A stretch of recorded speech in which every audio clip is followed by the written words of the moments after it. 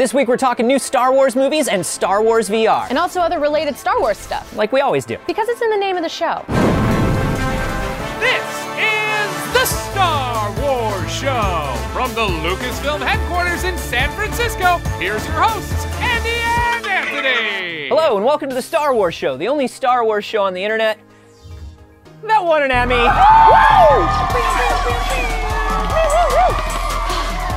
It was an honor just to be nominated. But it felt really good to win. Let's go to the news.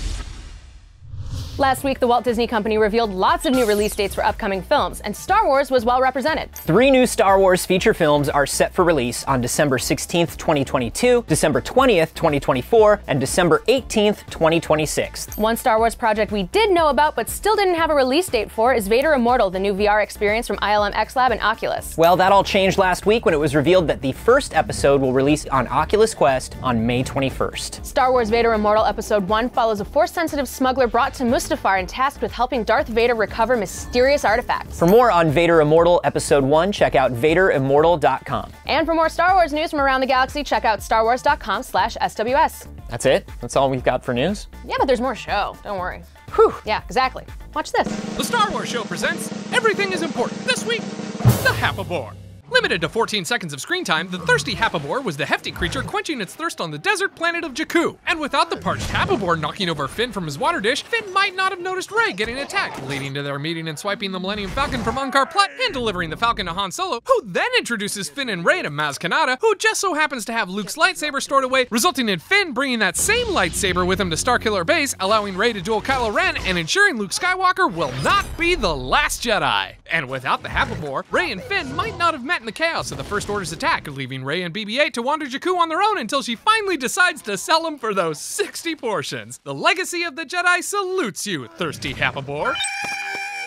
I'm so excited to be sitting down with Cavan Scott. Welcome, sir. Hello there. I have only Jaxxon related questions Let's, for let's you. go for it. That's all I have. This is the Jaxxon show. you to me are the person who brought back the giant rabbit. I did it just for you, obviously. Thank you. Yeah, yeah. I think a lot of people are very happy you brought back the giant rabbit. I say that to everyone I meet, whether they know who Jaxxon is or not, to be honest. They're just like, hey, Cavan Scott, I brought back the giant space rabbit. Yeah. yeah.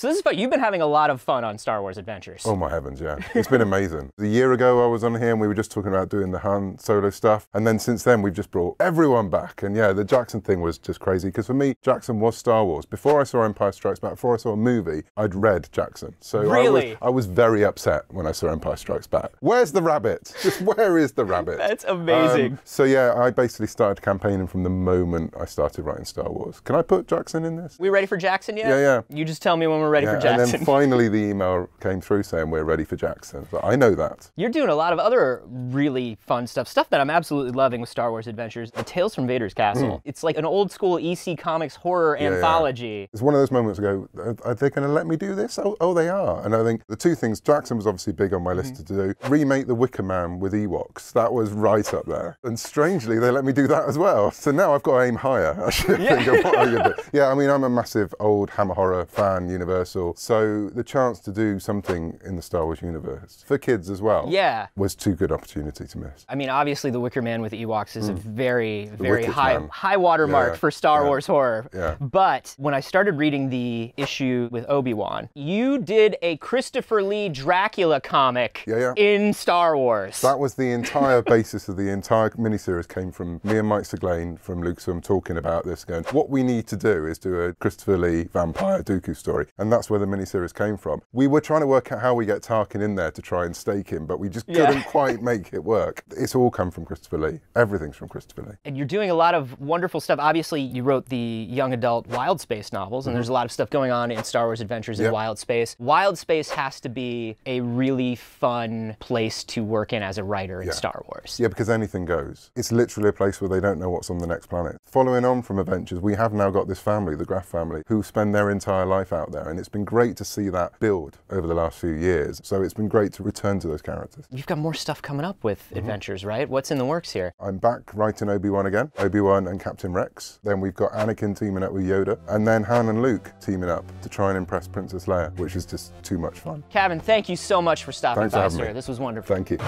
watching the Star Wars show. As we mentioned ever so subtly at the beginning of the show this week, the Star Wars show won its first ever Emmy. Woo! We won the Outstanding Daytime Promotional Announcement Topical Emmy for our Star Wars Arrested Development sketch that we did with Ron Howard last year. And we would like to thank our amazing crew for making this entire thing we do possible. Our executive producer and boss, Nikki Capaferri, John Harper for producing and directing the show, Scott Bromley for producing and putting the words into all of our mouths. Our incredible associate producer, AJ Camarillo, our graphics guru, Tony Scherg, our amazing production coordinator, Anina Wayless, the incomparable Kyle Kao, and Frank Knight, without whom this show would not even get out the door every week. and of course, you, the fans. Without you, we wouldn't even have a show, so thank you for being part of our silly little slice of Star Wars fandom week after week. You guys are what keeps us going. This one's for you guys and girls out there. Shall we close the show? Absolutely. Remember to like the video, subscribe to the channel, follow us on Twitter, Facebook, and Instagram, and give a random person a high five this week. They'll appreciate it, maybe. Definitely. Thanks for watching, and may the force be with you. You just gotta look at el- elbows, otherwise you'll kitster it. You know, easy just don't slap a random person by accident. Don't slap a random person. Don't kitster it. That's basically all the advice I have. Maybe this challenge was was asking a bit much. I couldn't do it.